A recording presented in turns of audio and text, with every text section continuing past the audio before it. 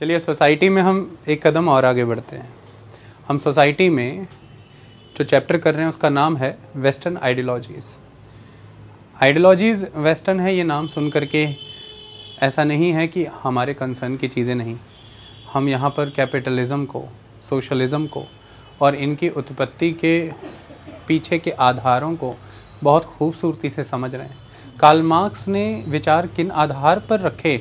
हम उन आधारों को समझ रहे हैं। जीवन और भविष्य इसी से सुधारा जा सकता है, हम इसलिए समझ रहे हैं। कल हमने आपको बहुत खूबसूरती से ये समझाना चाहा कि अगर हम इन आइडियोलॉजीज़ को पढ़ना चाहते हैं तो हमें ये मानना पड़ेगा कि नाइनटीन सेंचुरी के जिस रेवोल्यूशन के दौर की मैं बात करता हूँ, जिस समय में सोशोलॉजी की एक विकास हुआ, जन्म हुआ उसके पहले के वो जो 300-400 वर्ष जिसमें लगातार कई क्रांतियाँ हुई, चाहे वो वैज्ञानिक क्रांति थी जिसे हम एनलाइटनमेंट कहते हैं, चाहे राजनीतिक क्रांति थी जो फ्रेंच रेवोल्यूशन था, और चाहे आर्थिक क्रांति थी जिसे कि हम इंडस्ट्रियल रेवोल्यूशन कहते हैं, हमें इस दौर को समझना होगा। उस दौर में हमने जब एनलाइटनमेंट का टॉपिक कल शुरू किया था तो मैं कभी भी ये नहीं चाहता था कि आप कुछ चीज़ों को एक ब्लॉक चेन की तरह ही अपनी बॉडी में फ़ीड कर लें। कि लोग एनलाइटनमेंट के फ़ेज़ में ज़्यादा रीजनड हो गए लॉजिकल हो गए विजनरी हो गए और वो क्रिटिकल एनालिसिस करने लगे। जब हम चीज़ों को ऐसे सीख लेते हैं तो हम आधार युक्त, आधार मुक्त हो जाते हैं। हमें नहीं पता होता कि रीजनिंग कहाँ से आ गई, ये लॉजिकल कहाँ से हो गए, इसका कारण क्या था? समाज दोबारा कभी जब ऐसा होगा तो वो किस कारण से होगा? तो उसके लिए हमने इसको पीछे से बहुत अच्छे से ट्रेस किया। हमने इस लाइन को ही पकड़ा था कल। आप मुझे प्लीज़ टिक दीजिए। हमने इस लाइन को पकड़ा था, जो पहले वाली लाइन थी emergence of radically new ways of thinking तो मैंने आपसे पूछा था कि ये न्यू वेज ऑफ़ थिंकिंग क्या है भाई? आप मुझे बताएँ, ये क्या है न्यू वेज ऑफ़ थिंकिंग तो वो न्यू वेज ऑफ़ थिंकिंग में ही हमने बताया कि ये जो एजेस हैं, जब मैंने ये कहा कि जो एनलाइटनमेंट का फ़ेज़ है, वो एज ऑफ़ साइंस है, वो साइंटिफिक एजेस हैं। आई बात समझ में? और उसके पहले हमने पढ़ा तो फिर क्या था? डार्क एजेस थी। है कि नहीं? तो हमने देखा कि किसी पिछले से परिवर्तित होकर के कुछ नया आया। बहुत ही कम समय में, बहुत ही कम समय में कंप्लीट ट्रांसफॉर्मेशन हुआ है। इस वजह से हमने उसे रेवोल्यूशन की संज्ञा दी। हमने उसे रेवोल्यूशन कंसिडर किया। इसके तहत ये जो लाइन हमारे सामने थी emergence of radically new ways of thinking हमने न्यू वेज ऑफ़ थिंकिंग में ये बात की कि ये वो समय था जिस समय में थिंकिंग में रैशनैलिटी को जगह मिली थिंकिंग में रीजनिंग को जगह मिली क्रिटिकल एनालिसिस को जगह मिली। लेकिन इसके कारण क्या रहे? कब पर्सन अनरीजनड था? कब वो इरेशनल था? कब वो इलॉजिकल था? वो समझा हमने। हमने डार्क एजेस के कॉन्टेक्स्ट में इसे डिटेल में अंडरस्टैंड किया। हमने आपको ट्रेस करके दिया कि ऐसे समाज परिवर्तित होता है। ये कारण हो जाते हैं कि ये कितना prosperous Roman empire complete dark ages में जा कर के ख़त्म होता है, जब आर्थिक हालात अंतर्राष्ट्रीय स्तर पर हमारे exchanges of goods and services and ideas जब ट्रेड एंड कॉमर्स और पॉलिटिकल सिस्टम चेंज होता है, जब रिलीजन को बेस बनाया जाता है for the exploitation for a particular classes of society और majority of the masses suffer करते हैं। हमने इन सभी कॉन्टेक्स्ट में चीज़ों को बहुत खूबसूरती से समझा। आज हम आगे बढ़ा लेते हैं इस चीज़ को ओके तो एक्चुअली में एनलाइटनमेंट का फ़ेज़ जागृति का दौर, इसे आप रीअवेयर री एनेसेंस जिसे हम रेनेसेंस कहते हैं, या री अवेयरनेस का फ़ेज़ कह सकते हैं, पुनर्जागृति का दौर।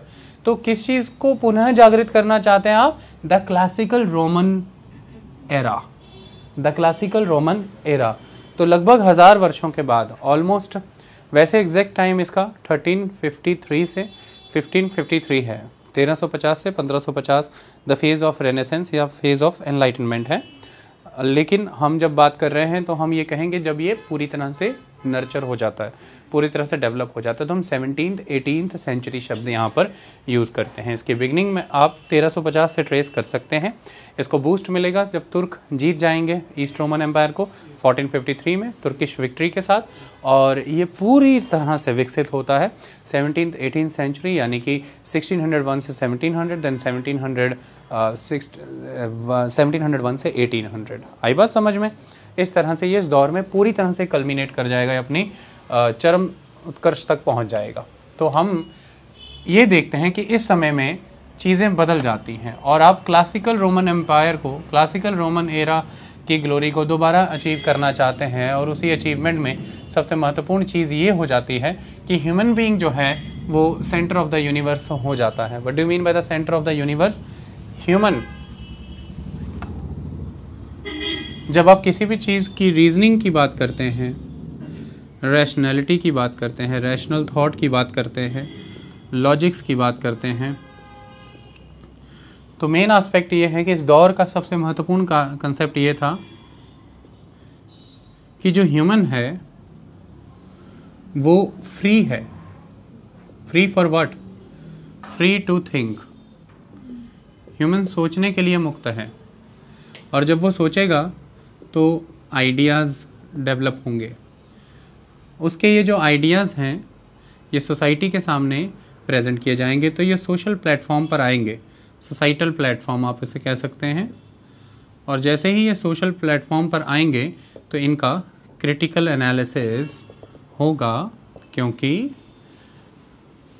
जो बाकी के सारे लोग हैं, वो भी तो फ्री हैं to think they are also free to think so definitely if they are free to think तो ये फ्रीली इस आइडिया का एनालिसिस करेंगे। Free from any bias free from any prejudice ultimate that analysis you can call a critical analysis it is a kind of constructive analysis. ये एक तरह का constructive criticism uh, होता है क्योंकि आप जब इस तरह से अनबाइज्ड कैरेक्टर के साथ यानी कि किसी भी तरह की पार्शलिटी ना रखते हुए किसी के प्रति झुकाव ना रखते हुए आप किसी आइडिया का एनालिसिस करते हैं तो आप उस आइडिया को और चार चाँद लगाते हैं। आप उसे और बेहतर करते हैं। उसकी कमियों को दूर करते हैं रेक्टिफाई करते हैं। इस वजह से ये जो एनालिसिस आपने क्रिटिकल मैनर में किया, यानी कि ये जो आपने क्रिटिसिज्म दिया, ये क्रिटिसिज्म इस आइडिया को और बेहतर तैयार करेगा। So that criticism is a constructive criticism it is a constructive criticism but when you are biased when you are partial when you are not impartial you are partial you are biased and you are prejudiced then you are doing analysis और आप कह रहे हैं कि ये critical analysis है। No it is not the critical analysis आप हो सकता है सामने वाले के प्रति कोई बैर रखते हैं, कोई वैमनस्य रखते हैं उसके प्रति।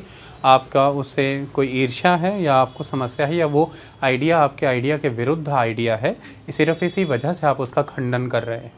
तर्क के आधार पर खंडन होना चाहिए। आई बात समझ में? तो इस तरह से सभी फ्री थे टू थिंक तो वो they are analysing the idea कि वो आइडिया सही है कि नहीं। सही होने का अर्थ यहाँ पर क्या है? What do mean by that सही होने का अर्थ ये है कि जो ह्यूमन है, उसके मुताबिक अगर देखा जाए तो वो आइडिया है कि नहीं? मतलब अगर आप इस समय की बात करें तो ये इंपॉर्टेंट हो गया कि ये जो पर्टिकुलर नेचर है, प्रकृति है, इस प्रकृति में बहुत से रिसोर्सेज हैं। और इन सभी रिसोर्सेज का जो पर्पज़ है, वो ह्यूमन की बेटरमेंट है। और ह्यूमन की बेटरमेंट के लिए हमें इन रिसोर्सेज को एक्सप्लॉइट करना है। एक्सप्लॉइट करना है। और जब रिसोर्सेज को एक्सप्लॉइट करना होगा तो नेचुरली आपको टेक्नोलॉजी की ज़रूरत होगी। आपको कई तरह की टेक्निक्स की ज़रूरत होगी। टेक्निक्स आपको कई तरह के प्रोडक्शन के फैक्टर्स की ज़रूरत होगी, क्योंकि फिर आप कुछ प्रोड्यूस करेंगे तो मीन्स ऑफ़ प्रोडक्शन या फैक्टर ऑफ़ प्रोडक्शन हम उन्हें कहते हैं। तो आपको लैंड की नीड होगी, आपको लेबर की नीड होगी, आपको एनर्जी के सोर्सेस की नीड होगी, ये सारी चीज़ों की नीड होगी। तो when you are going to exploit something इसके अलावा आपको रिलेशनशिप्स यानी कि प्रोडक्शन फैक्टर्स के साथ साथ you have to consider production relations also कि काम बांटा कैसे जाएगा सबके बीच में, किसका क्या संबंध है, काम से आने, काम से प्रोड्यूस हुए प्रोडक्ट को बेचने पर जो कीमत आएगी वो किसमें, कैसे बटेगी, ये सारी चीज़ें रॉ मटेरियल कौन अरेंज करेगा लैंड और लेबर को कौन अरेंज करेगा, ये सच आर प्रोडक्शन रिलेशंस इन सब चीज़ों पर विचार होगा जब आप ये कंसिडर करते हैं कि नेचर में रिसोर्सेज हैं और रिसोर्सेज ह्यूमन की बेटरमेंट के लिए हैं। उसके लिए हमें रिसोर्सेज को एक्सप्लॉइट करना होगा और एक्सप्लॉइटेशन के लिए ये सब चीज़ें हमें चाहिए, इन सब चीज़ों की आवश्यकता है और ऐसे में जो चीज़ें प्रोड्यूस हों, उन प्रोडक्शन का बेनिफिट ह्यूमन तक पहुँचे। इस तरह से ये आइडियाज़ विकसित होते हैं। चाहे फिर वो पानी की बात कर लें, चाहे मिनरल्स की बात कर लें, खेती बाड़ी की बात कर लें, चाहे किन्हीं इंडस्ट्रियल प्रोडक्ट्स की बात कर लें, ये सब आइडियाज़ इसके इर्द गिर्द घूमते चले जाएँगे। कि वेल्थ का क्या इम्पोर्टेंस है, पूंजी का क्या महत्व है कैपिटल का क्या महत्व होता है, किस तरह से लेबर के काम करवाना है लेबर कैसे ऑर्गेनाइज होनी चाहिए प्रोडक्शन किस प्रोसेस के थ्रू होनी चाहिए, उसको कैसे बेचना चाहिए बेटर वे में मार्केट कैसे काम कर सकती है गवर्नमेंट का इसमें क्या रोल होना चाहिए गवर्नमेंट को इंटरवेंशन करनी चाहिए मार्केट में कि नहीं स्टेट क्या होता है स्टेट का क्या रोल है तो इस तरह से बहुत से सवाल आएँगे। Many ideas are there because human free हुआ टू थिंक आप सोच सकते हैं। और बाकी फिर आपकी सोच के ऊपर भी सोच सकते हैं। तो क्रिटिकल एनालिसिस जब आता है तो हाँ जिसने आइडिया दिया, वो भी बाउंड है कि उसे उस आइडिया में इन चीज़ों को ध्यान में रखना है। रीजनिंग को लॉजिक्स को रैशनैलिटी को। अदरवाइज़ उसके आइडियाज़ अनरीजनड इरेशनल इलॉजिकल होकर के ठुकरा दिए जाएँगे। क्योंकि वो आइडियाज़ हो सकता है कि बेटर वे में सोसाइटी का पर्पज़ सर्व ना करें, यानी कि वो ह्यूमन की बेटरमेंट की ओर ना जा रहे हों। आई बात समझ में? वो आइडिया साइंस साइंटिफिक कंसेप्ट की बात नहीं करते। मतलब वो आइडिया प्रमाणित आइडिया नहीं लगते। वो आइडिया व्यवहारिक नहीं लगते प्रैक्टिकल नहीं लगते। वो आइडिया प्रूवन से नहीं लगते।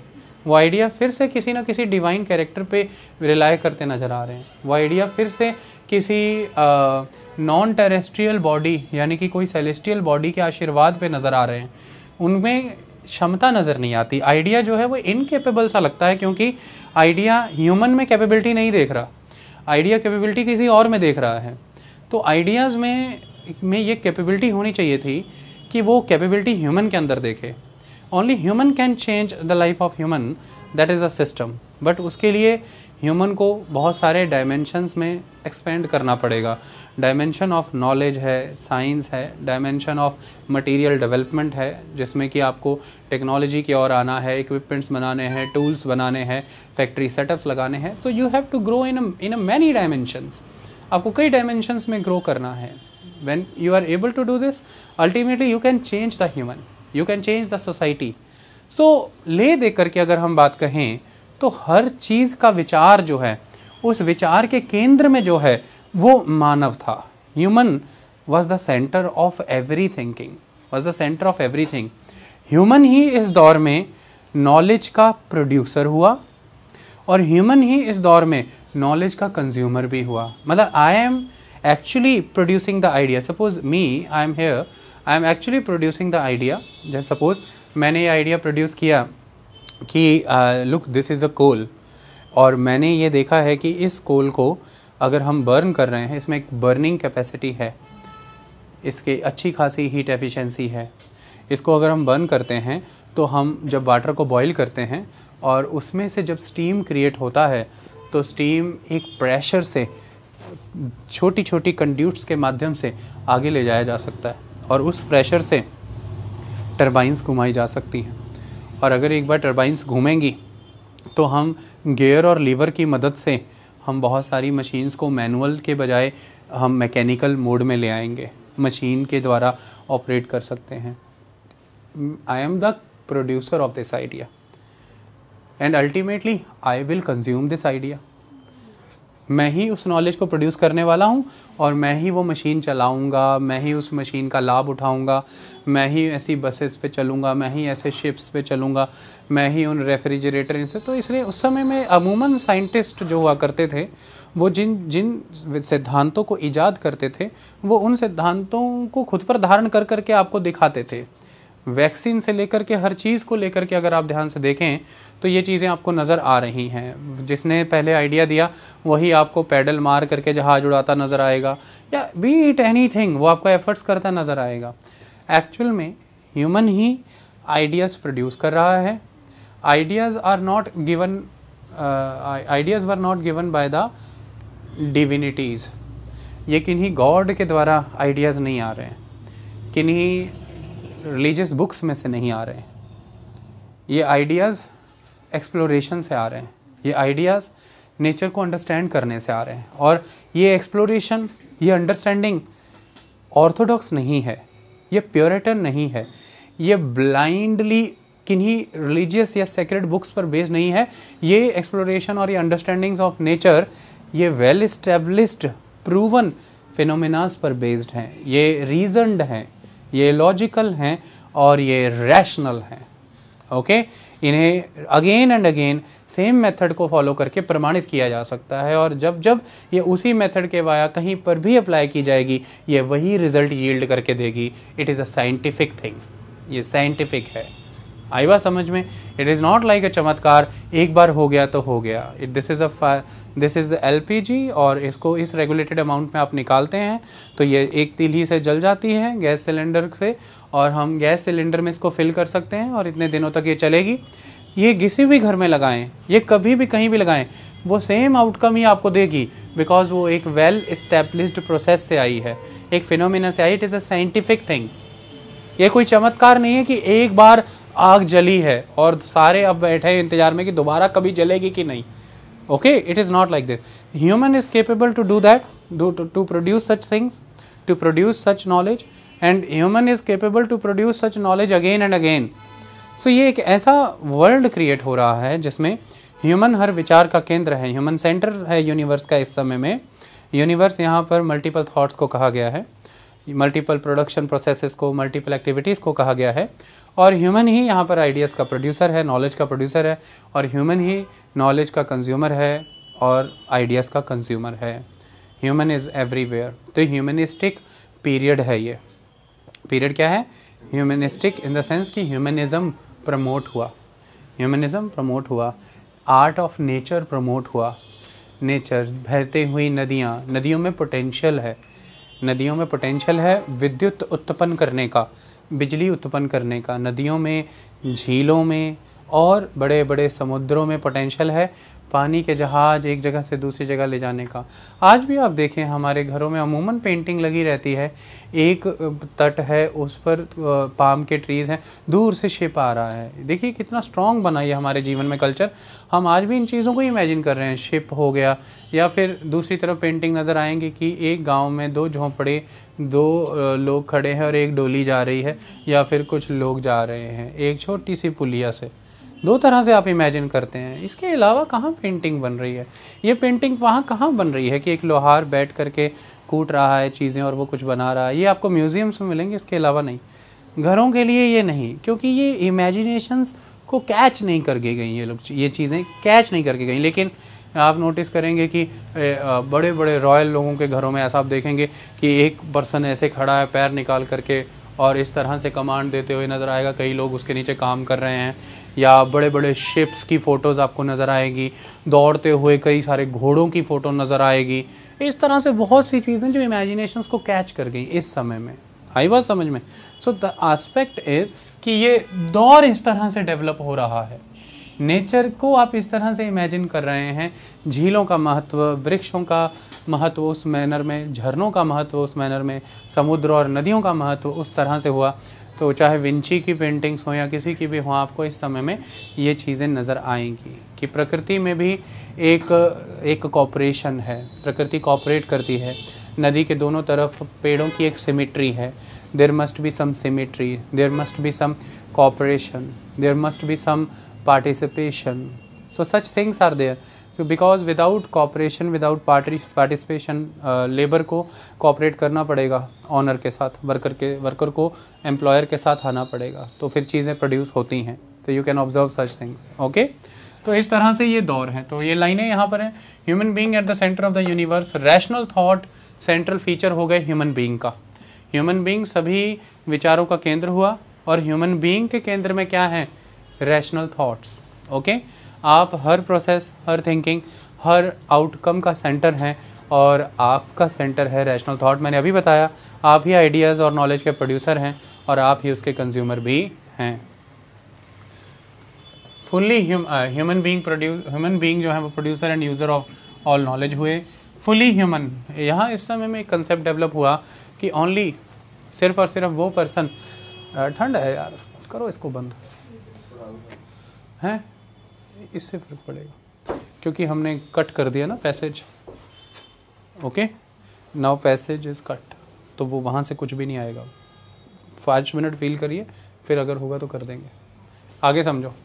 तो वही उसी को फुल ह्यूमन मांगा, माना फुली डेवलप्ड माना, जो रैशनल थिंकिंग रख सके, जो एनालिसिस क्रिटिकली कर सके, जिसके पास रीजनिंग्स हों जो चीज़ों को लॉजिक के आधार पर करता हो तो उन्हीं को फुल्ली ह्यूमन माना जाएगा। जो लोग ये नहीं कर पाए, उन्हें माना गया कि ह्यूमन के कैरेक्टर्स में ये पर्सनस डेफिसेंट हैं। ये ह्यूमन नहीं है पूरी तरह से।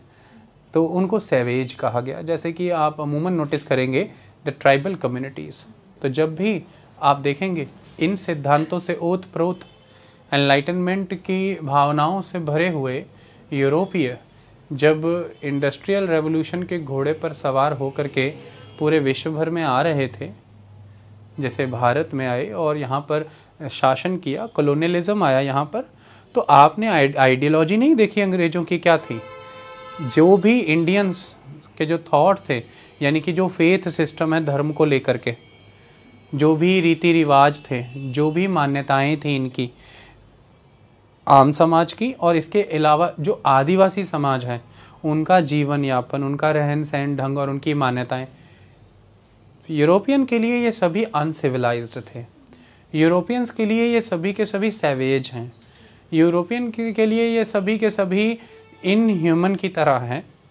इन सैवेज लोगों को, इन अनसिविलाइज्ड लोगों को पहले तो पावर से कंट्रोल करना पड़ेगा। तो ब्रूट फोर्स का यूज़ करना पड़ेगा। और इन्हें कंट्रोल में रखना पड़ता है। तो यही तर्क लंबे समय तक ब्रिटिशर्स ने दिया कि अभी आप योग्य नहीं हुए हैं कि ब्रिटेन की लोकतंत्र प्रणाली आपको भी सौंपी जाए। अभी आप उसके योग्य नहीं हुए हैं। आप लोकतांत्रिक प्रणाली को संभाल सकें, उसके लिए पहले आप उसके योग्य बनिए, पहले विकसित बनिए। पहले बाय फोर्स कंट्रोल करना, फिर धीरे धीरे इनमें से जो लोग, वो टेस्ट वो प्रेफरेंसेस वो रैशनल रीजनिंग और क्रिटिकल थिंकिंग रखने लायक बन सकते हैं। उनको पहले हैंड पिक करना तो उनको पहले कुछ लोगों को उठाना, उनको अपनी पद्धति सिखाना, अपनी तरह सोचना, पहनना, विचार करना, खाना, पीना, सारा सिखाना।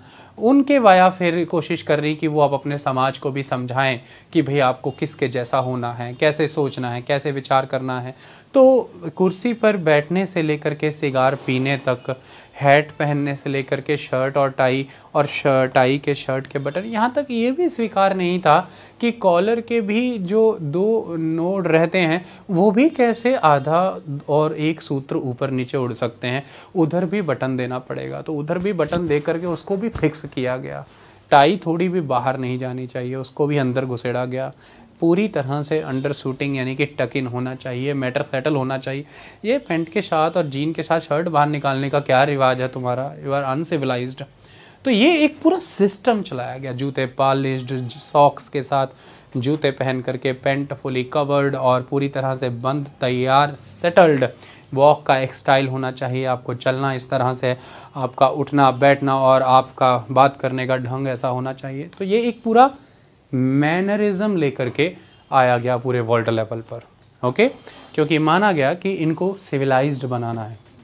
इसी तरह से सेंट्रल अमेरिका की आदिवासी समाज को भारत और अनेक अफ्रीकी, एशियाई और साउथ अमेरिकी देशों के लोगों को सिविलाइज्ड करने के नाम पर शासन किया गया। उनका शोषण भी किया गया। इतनी बात समझ में आई? तो ये देट वॉज़ द आइडिया उनको लगता था कि क्योंकि हम पहले सिविलाइज्ड हो गए हैं हम पहले समझ गए हैं ह्यूमन की वर्थ ह्यूमन की वैल्यू तो हम ही बेटर मैनर में इन लोगों को ठीक कर सकते हैं। हमारा दायित्व बनता है, क्योंकि देखिए इंडस्ट्रियल रेवोल्यूशन जो था, वो अकेले तो आगे बढ़ नहीं सकता था। इसके वजह से सारे समाज को, सारे विश्व को आपस में संपर्क में तो आना था। तो बेहतर होगा कि जिनके संपर्क में आ रहे हैं, उनको आप अपने विचारों से पूरी तरह से अवगत करा दें और आपके प्रति उन्हें हाईली स्वामी भक्त बना दें, उनको इतना गौरवान्वित महसूस करा दें कि आप तो स्वयं ईश्वर ही के रूप के में उनके सन्मुख प्रकट हुए हैं तो वो फिर बेहतर आपकी नीड्स को सर्व कर सकते हैं। क्यों तो इसलिए यूरोपियों के द्वारा अकेले तो टिका ही नहीं जा सकता था सर्वाइव ही नहीं किया जा सकता था, क्योंकि मास प्रोडक्शन करना है तो उसकी ये बाउंडेशन ही थी कि आपको मास मार्केट्स चाहिए, आपको मास स्केल पे रॉ मटेरियल चाहिए। और यूरोप के वो छोटे छोटे मुल्क अपने स्तर पर अकेले ये नहीं कर सकते थे। उन्हें विश्व की इतनी भारी भरकम जनसंख्या और संसाधनों से संपन्न इन देशों की आवश्यकता तो थी ही।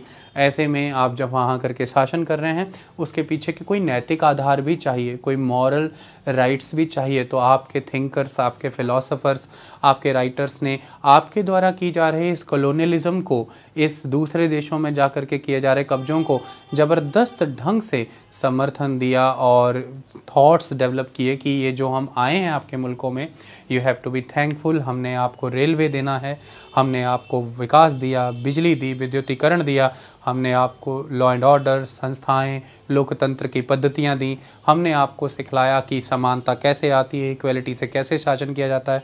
हमने एब्सोल्यूट किंगडम सिस्टम्स ख़त्म कराए और जनतांत्रिक राज्य स्थापित करे।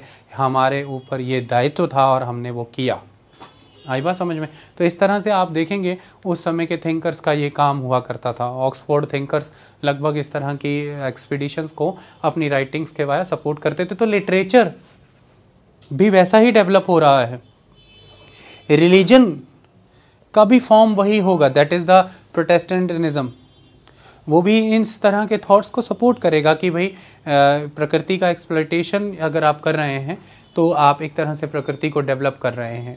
ओके आपको उसे नर्चर करना है। ये जंगलात इलाके, ये अनटेम्ड बहती नदियाँ जो हर बार अकाल भी लाती हैं और बाढ़ भी लाती हैं।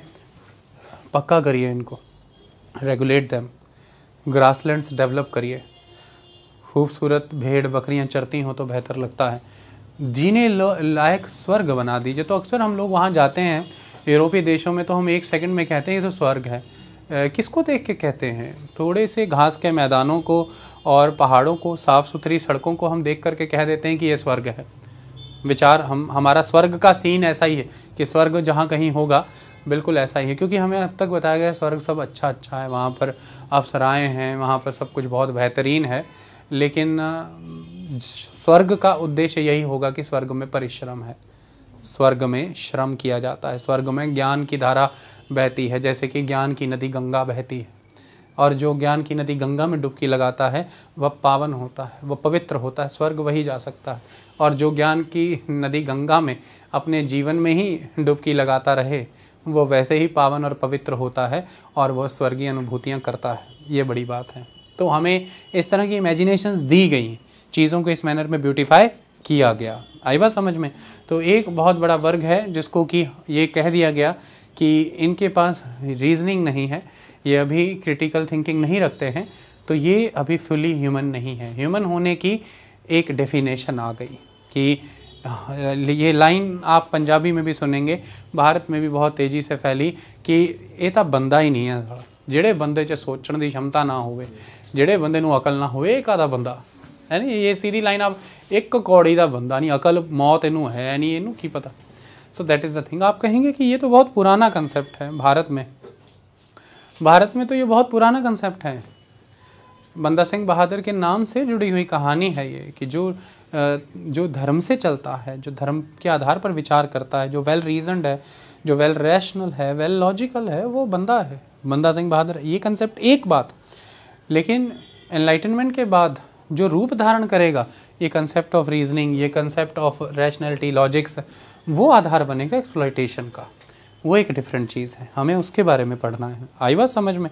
So that is the concept तो reason became the defining feature of the human world इस दौर में ह्यूमन वर्ल्ड का डिफाइनिंग फीचर कौन बना? रीजन ओके रीजन है तो चीज़ है। रीजन नहीं तो चीज़ नहीं। तो हम सीधी सीधी बात पूछते हैं। तर्क बताओ अपनी बात के पीछे को। कारण बताओ। प्रूफ करो। है ना? प्रूफ करो। तो मैथमेटिक्स में भी आप देखते होंगे लास्ट में हम लिख देते हैं hence proved left hand side right hand side ये। तो प्रूफ प्रूफ प्रूफ ये सारी चीज़ें लेबोरेटरी में भी आप जाएँगे फिजिक्स में केमिस्ट्री में तो एट द एंड आपको यही आएगा कि इसको ये प्रूव करना है आपने।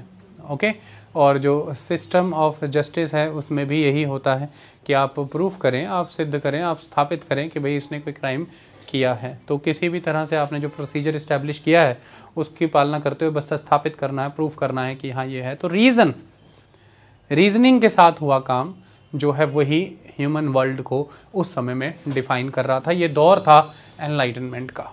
इतनी बात समझ में आई? ये एक बड़ी वैज्ञानिक क्रांति नहीं थी क्या? It was a very very big revolution in the field of science क्योंकि इस समय में नए ऑपरेटस नए टूल्स नए वेपन्स नए इक्विपमेंट्स बनेंगे और इन्हीं इक्विपमेंट्स इन्हीं टूल्स इन्हीं वेपन्स की वजह से नए तरह के समीकरण बनेंगे। यानी कि नए तरह से व्यापारिक संबंध विकसित होंगे। लॉन्ग रूट ट्रेड प्रैक्टिसेस होंगी और पूरा विश्व इससे प्रभावित होगा। केवल ये विचार, ये धारणाएँ उन क्षेत्रों तक सीमित नहीं रहेंगे जहाँ पर ये विकसित हुई। ये पूरे विश्व को प्रभावित करेंगी क्योंकि पूरा विश्व इस समय यूरोप के संपर्क में आ रहा था और उसका कारण व्यापार था। तो इसकी वजह से ये सोच, ये धारणा पूरे विश्व तक पहुंचेगी। सारा विश्व इन विचारों से प्रभावित होगा। तो विश्व भर में आपको एक परिवर्तन नज़र आएगा। तो जो आज मॉडर्न फोर्सेस हैं जिनको आप मॉडर्न फोर्सेस के तौर पर देखते हैं, जो आज मॉडर्निटी है, वो मॉडर्निटी वो मॉडर्न फोर्सेस ये हम ग्रांटेड लेते हैं, लेकिन ये ग्रांटेड है नहीं, ये चीज़ें किन्हीं वजह से आई हैं। ये एक तरह का कंप्लीट ट्रांसफॉर्मेशन था सोसाइटी का, जिसकी वजह से ये मॉडर्न एलिमेंट ये मॉडर्निटी जो आप एक्सपीरियंस करते हैं, ये आई, और वो ट्रांसफॉर्मेशन का बेसिस ये इवेंट्स थे जो मैं आपके सामने लिख रहा हूँ, बता रहा हूँ। इन्होंने संबंधों को बदल दिया। अब आप हो सकता है अपने घरों में पशु रख करके दूध नहीं दुहाते, आप अपने खेतों से ही हुई उपज नहीं खाते। आप अपना कोई ऐसा व्यवसाय या कार्य करते हैं जिससे होने वाली आमदनी से आप किसी ऐसे मनुष्य से दूध उपलब्ध करवाते हैं जो केवल दूध का कार्य करता है। और कोई किसान सिर्फ़ खेती करता है, कोई सिर्फ़ और सिर्फ़ इंडस्ट्री चलाता है। तो पूरी तरह से रिलेशंस बदले हैं। रिसोर्सेज का यूज़ बदला है। नेशन को ऑर्गेनाइज करने के तरीके बदले हैं। वेल्थ को एकोमुलेट करके उसको डिस्ट्रीब्यूट करने के तरीके बदल गए। ये सारी परिवर्तन इस दौर में आए हैं। साइंस और रीज़न यहाँ पर सुप्रीम हुई। आई बात समझ में? अब हम अगले कंसेप्ट को समझते हैं। That is the political revolution that is the French revolution the French revolution देखिए हमने जब एनलाइटनमेंट के बारे में पढ़ा तो हमारे दिमाग में ये चीज़ अब सेटल्ड है कि रीज़न जो है ह्यूमन वर्ल्ड का डिफाइनिंग फीचर हो गया। इस बात का क्या अर्थ होगा पलक? रीज़न ह्यूमन वर्ल्ड का डिफाइनिंग फीचर हुआ। What do mean by that इसका अर्थ ये निकलता है कि अब तक जो चीज़ें ह्यूमन वर्ल्ड को डिफ़ाइन कर रही थी, वो डिस्प्लेस हो जाएँगी रीज़न उसकी जगह ले लेगा। और वो कौन सी चीज़ें ह्यूमन वर्ल्ड को डिफ़ाइन कर रही थी, जैसे कि नेचर प्रकृति, आप पर हैवॉक रैक करती है। यानी कि आपको प्रकृति के ही अधीन रहना है। आप प्रकृति को परिवर्तित नहीं कर सकते। है कि नहीं? नेचर जैसा डिसाइड करेगी, वैसा सर्वाइव करिए सस्टेन करिए। So, that concept of nature, the concept of religion, the concept of feudalism, divine act of God, तो ये divine act of God the system of religion the concept of nature ये displace हो जाएँगे centre से। क्योंकि centre में human world क्या आ गया है रीज़न और फिर जब रीज़न आ गया है तो ये रीज़न ह्यूमन के अंदर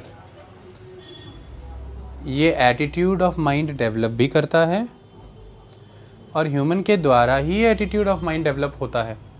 रीज़न की खासियत है, ये दो प्रोसेस करता है।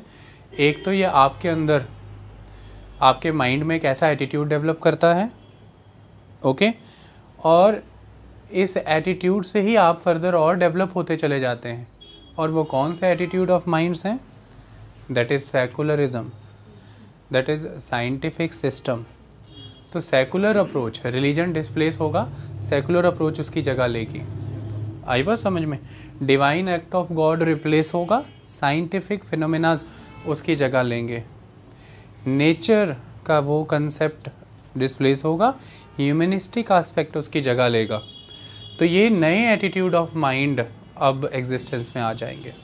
इन एटीट्यूड ऑफ़ माइंड्स की वजह से ही ह्यूमन के कॉन्टेक्स्ट में नए आइडियाज़ डेवलप होंगे और ह्यूमन खुद ही इन एटीट्यूड ऑफ़ माइंड से बेनिफिटेड भी होगा। ऐसे विचारों के तहत अब समाज सेटल्ड है।